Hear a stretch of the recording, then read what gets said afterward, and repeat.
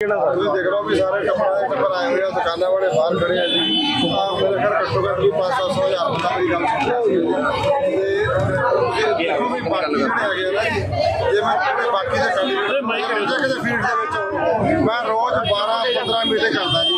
ਰਾਤ ਨੂੰ ਮੈਂ 9:30 ਵਜੇ ਵਿਹਲਾ ਹੁੰਦਾ ਜੀ 10:30 11 ਵਜੇ ਘਰ ਪਹੁੰਚਦਾ ਜੀ। ਲੋਕਾਂ ਦੇ ਵਿੱਚ ਲੋਕ ਨਾ ਪਿਆਰ ਬੈਠੇ ਆ ਪਾਰਟੀ ਦੇ ਪਿਛਲੀ ਵਾਰੀ ਹਨੇਰੀ ਸੀ ਇਸ ਵਾਰੀ ਸੁਨਾਮੀ ਆਊਗੀ।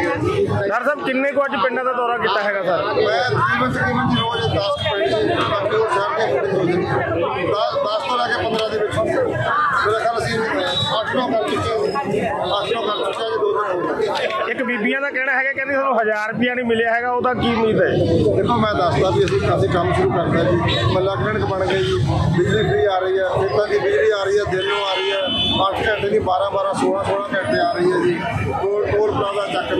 ਸਨਮਾਨ ਹੋ ਗਿਆ। ਤਕਰੀਬਨ ਤਕਰੀਬਨ ਅਸੀਂ 80% ਗਰੰਟੀ ਪੂਰੀਆਂ ਕਰਦੇ ਹਾਂ। ਉਹਦੇ ਵਾਸਤੇ ਵੀ ਪੈਸੇ ਇਕੱਠੇ ਕਰ ਰਹੇ ਹਾਂ। ਤੁਸੀਂ ਅੱਜ ਦੀ ਖਬਰ ਹੈ ਸਾਡਾ ਜੀਐਸਟੀ 21 22% ਵੱਧ ਗਿਆ ਅਸੀਂ ਕੋਈ ਨਵਾਂ ਟੈਕਸ ਨਹੀਂ ਲਾਇਆ ਜੀ। ਰੈਵਨਿਊ ਇਕੱਠਾ ਕਰ ਰਹੇ ਹਾਂ ਔਰ ਸਾਰਾ ਜਿਹੜਾ ਹੈਗਾ ਬਹੁਤ ਜਲਦੀ 1000 ਰੁਪਇਆ ਦਿੱਲੀ 'ਚ ਦੇਤਾ ਜੀ ਇੱਥੇ ਵੀ ਡਾਕਟਰ ਸਾਹਿਬ ਕਿਸਾਨ ਪਿੰਡ ਚੁਣੇ ਜਾਂਦੇ ਹੋ ਕੋਈ ਖਾਸ ਪ੍ਰੋਜੈਕਟ ਪਟਿਆਲਾ ਦੇ ਲਈ ਜਿਹੜਾ ਤੁਹਾਡੇ ਧਿਆਨ ਦੇ ਵਿੱਚ ਹੋਵੇ ਕਿ ਇਹ ਕੰਮ ਕਈ ਸਾਲ ਤੋਂ ਨਹੀਂ ਹੋਇਆ ਅਸੀਂ ਹੁਣ ਕਰਾਂਗੇ। ਇੱਕ ਤਾਂ ਜਿਹੜਾ ਘੱਗਰ ਦਾ ਹੈ ਜੀ ਪੁਰਾਣੇ ਛੜ ਆਉਂਦੇ ਆ ਅੱਗੇ ਸਾਰੇ ਵਧੀਆ ਮੇਰੇ 6 ਹੈਗੇ ਆ ਜੀ ਤੇਰਾ ਮੱਛੀ ਤੋਂ ਲੈ ਕੇ ਰਾਜਪੁਰਾ ਸਨੌਰ ਘਨੌਰ ਸਵਾਲਾ ਤੇ ਸ਼ਮਸ਼ਾਲਾ ਜਿਹਨਾਂ ਨੂੰ ਘੱਗਰ ਦੀ ਮਾਰ ਪੈਂਦੀ ਆ, ਪਟਿਆਲੇ ਦੀਆਂ ਦੋ ਕੌਂਸਟੀਟੂਐਂਸੀ ਨੂੰ ਜਿਹੜੀ ਬੜੀ ਨਦੀ ਉਹਦੀ ਮਾਰ ਪੈਂਦੀ ਆ। ਅੱਠ ਮੇਰੀਆਂ ਕੌਂਸਟੀਟੂਐਂਸੀ ਆ, ਨੌ ਦੇ ਵਿੱਚੋਂ।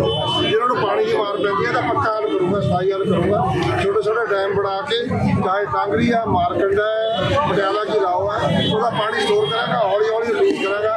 ਨਦੀਆਂ ਵੀ ਸਾਰਾ ਸਾਲ ਚੱਲਣਗੀਆਂ ਵਾਟਰ ਵੀ ਚੱਲਦੇ ਹੋਏਗੀ, ਔਰ ਘੱਗਰ ਵੀ ਸਾਰਾ ਸਾਲ ਚੱਲੇਗਾ, ਸਾਫ਼ ਵੀ ਰਹੇਗਾ ਔਰ ਇਹਦਾ ਫਾਇਦਾ ਸੀ ਇਹ ਪੰਜਾਬ ਤੇ ਹਰਿਆਣੇ ਦੇ ਵਿੱਚ ਲੜਾਈ ਦਾ ਕਾਰਨ ਬਣਦਾ ਹੈ।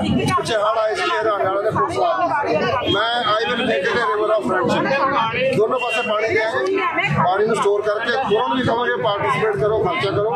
ਅਸੀਂ ਵੀ ਕਰਾਂਗੇ, ਰਾਜਸਥਾਨ ਵਾਲਿਆਂ ਨੂੰ ਕਹਾਂਗੇ ਹਿਮਾਚਲ ਵਾਲਿਆਂ ਦੀ ਮਦਦ ਲਵਾਂਗੇ। ਚਾਰ ਸਟੇਟਸ ਦੇ ਵਿੱਚ ਮਿੱਤਰਤਾ ਦਾ ਰਿਵਰ ਬਣਾਓ।